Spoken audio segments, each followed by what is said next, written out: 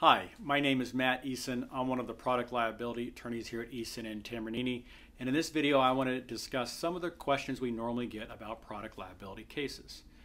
First off, who is responsible in a product liability case? Is it the manufacturer, or is it the distributor, or is it the seller?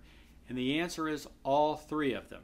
So it's not just who made the product, but it's also anybody that was a wholesaler in the chain of the sale of that product and then the ultimate seller of that product can be liable.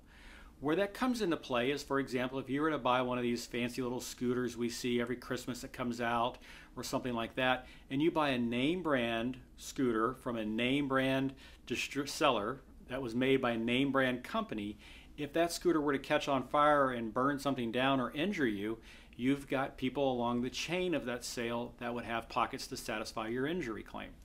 Conversely, if you buy an off brand product, such as one of those scooters from a flea market, and something happens, then unfortunately trying to find somebody that can cover you for those injuries is going to be very difficult. So that's one of the benefits of buying name brand items that might have a danger liability down the road. A second question we typically deal with is are they strictly liable or are they negligent? And under the law, the distributor is strictly liable if the product fails. Now that means it has to be used in a way that was reasonably anticipated to be used. And that's kind of an interesting one, in particular, if you look at a screwdriver.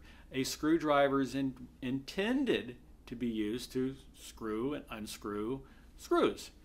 However, it's reasonably anticipated that a screwdriver is going to be used to pry open paint cans, pry open other things, and as a result, screwdrivers are manufactured in such a way to ensure that they don't fail during that type of use. The third question we often get is, well, what type of things give rise to a product liability case? And the main things to understand is that a manufacturing defect, a design defect, and a potential failure to adequately warn defect are all three different theories to a product liability case. If the product was intended to be manufactured in one way, but during the manufacturing process it came out defective, well, that would give rise to a product liability case. Likewise, if the product was just designed inherently in a dangerous way, and it was manufactured the way it was intended, but it's a bad design, that's another theory of a product liability case. And the final theory of a product liability case, which has become the, probably one of the most common, is a failure to adequately warn. And that's why we see so many important warning labels and war warning brochures, is to make sure that the user of that product understands how that product is intended to be used and can use it safely. If you've got questions about a product liability case, I hope you consider reaching out to us. My name again is Matt Eason. I'm one of the product liability attorneys at Eason and Tambornini. Our address is 12348 H Street, Sacramento, California, 95814.